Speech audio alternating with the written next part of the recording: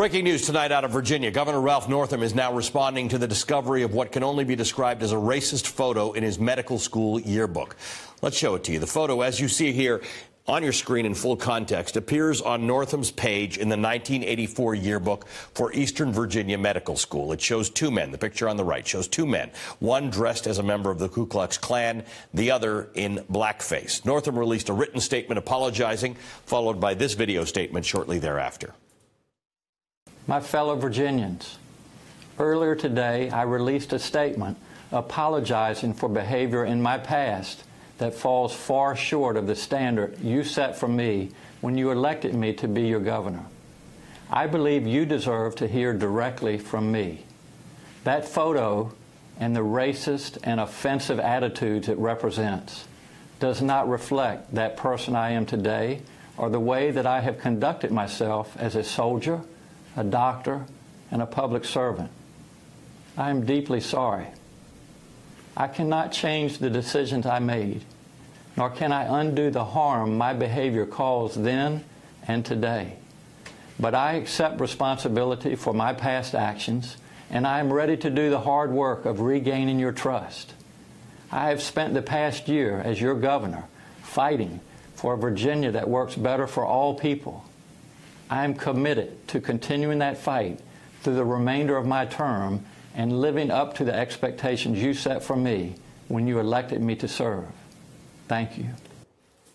All right, that was uh, Ralph Northam joining me now. Derrick Johnson, President and CEO of the NAACP. Derrick, thank you for joining us. Uh, I want to just show our viewers what you tweeted tonight. You said blackface in any manner is always racist and never okay, no matter the party affiliation. We cannot stand for such behavior, which is why the NAACP is calling for the resignation of Virginia Governor Ralph Northam. Uh, do you, does his apology, the video apology, which was more comprehensive, in which he does not make any excuses, excuses and he acknowledges the harm that he did. Does that does that have any impact on on your thinking about this? Well, I think it's important that he that he actually uh, made the statement. However, our position remains the same. Uh, 1984, although it feels like it was a long time ago, uh, was well established that African Americans have been treated uh, uh, wrongly by this nation by individuals, and to to do have blackface or a Klan uniform when you're in medical medical school, that's problematic, and, and we should not allow uh, that to take place in this society, considering the current sense of intolerance that's germinating from the White House. Have you had an opportunity to express your views uh, other than in the tweet? Has the NAACP reached out uh, to the governor, or have you received any any uh, response from him? Well, he's spoken with our, our state president of Virginia, uh, but our position is clear. Uh, we are a nonpartisan organization that fight against uh, uh, uh racism and discrimination. And because we would do this, if it was a Republican governor, if it was Donald Trump in the White House, we do it across the board.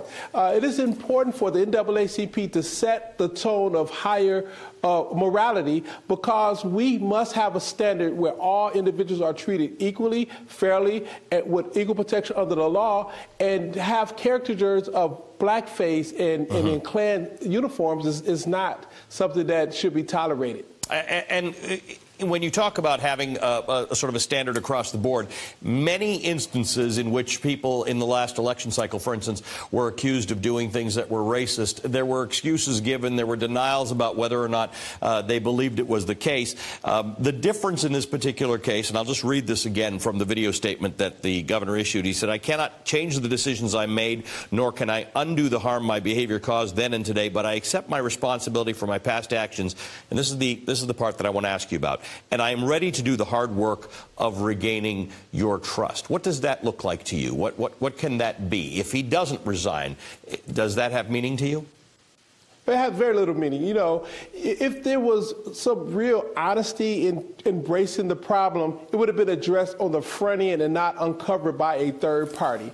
Uh, you know, it, it's interesting when individuals get caught, they're remorseful, they want to change, they want to fix things, they want to change the way things happen, and in many cases, they want to rewrite history. Unfortunately, you can't take this away, and there was no disclosure on the front end, mm-hmm. therefore, mm-hmm. our position remains the same. The so same. that's interesting to me. Uh, what does that look like? Disclosure on the front end? Because I guess that's relevant to a lot of people running for office today. They go through their past and they say, You know, I've, I've, I've in, in Ralph Northam's case, I'm a, I'm a doctor. I'm a, I was a soldier. I, I've served my state. But there's going to be this problem because uh, there was this picture in my yearbook, and maybe I hung around with people. I, we don't know which one he is in the picture, whether he hung around with people who had Klan outfits or hung around with people who were in blackface. How would that look for somebody who's running for office today? Should they sort of disclose that and then say, I know this is going to be a problem, but I'm not the man that I was in 1984?